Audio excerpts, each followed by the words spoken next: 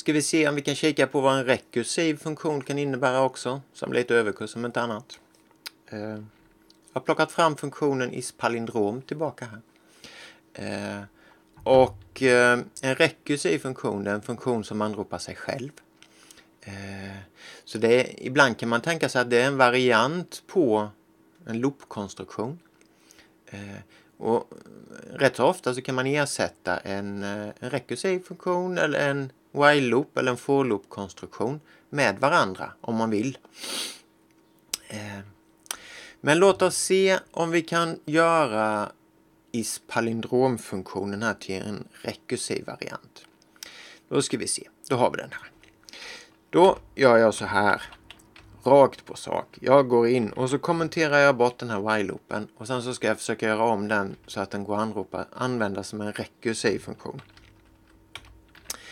Jag gör testet om strängen dollarstad dollar end, om de är lika så vill jag fortsätta och eh, ja, jag får ju, jag kan ju ta de där varianterna. Jag kan ju ta och öka på start och end och sen så kan jag ta och göra det rekursiva anropet.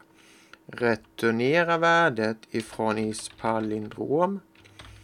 Skicka in dollar Sträng. Sådär. Där har vi det rekursiva anropet. En funktion som anropar sig själv. Eh. Nu vill jag inte skicka in sträng utan nu är tanken att det här första delen, första testet ska jämföra de två yttersta tecknen. Och sen så nästa rekursiva anrop ska, an, ska jämföra de två nästa tecken nästa, nästa, nästa. Så det ska funka på samma sätt som while-loopen. Eh, men då behöver jag ta substrängen här för att det där ska funka. Så jag tar dollarsträng och så tar jag den ifrån dollar start, dollar end.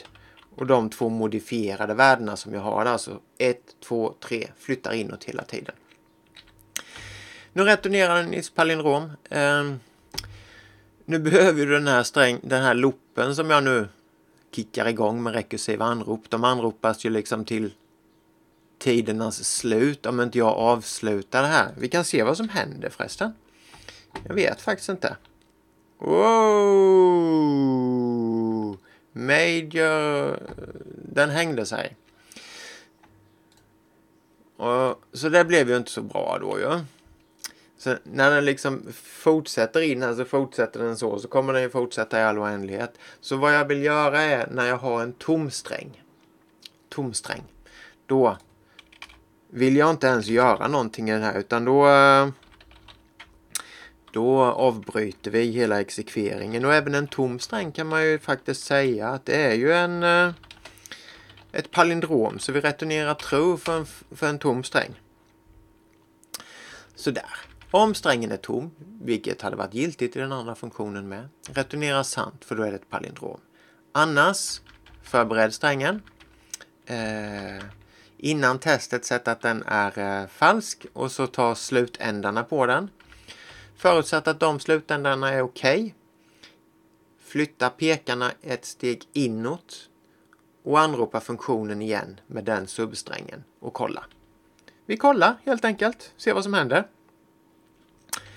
Spara, ladda om. Då ska vi se.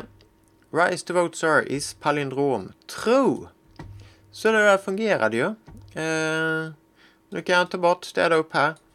Och eh, jag får en eh, mindre funktionsbody. Vissa skulle kunna säga att en, eh, en rekursiv funktion kan vara lite svårare att förstå sig på. Eh, i längden när man är en duktig programmerare så kommer rekursiva funktioner att vara en del av de verktygen som man har att jobba med. Vissa programmeringsspråk så använder man väldigt mycket rekursivitet när man löser saker. Eh, I POP och eh, liknande språk så kanske vi inte använder så mycket rekursiva funktioner. De lämpar sig ibland. Eh, men här har vi i alla fall sett en variant på rekursiv funktion, en funktion som anropar sig själv. Så vi har det så. Kör vidare så syns vi. Ha det gott!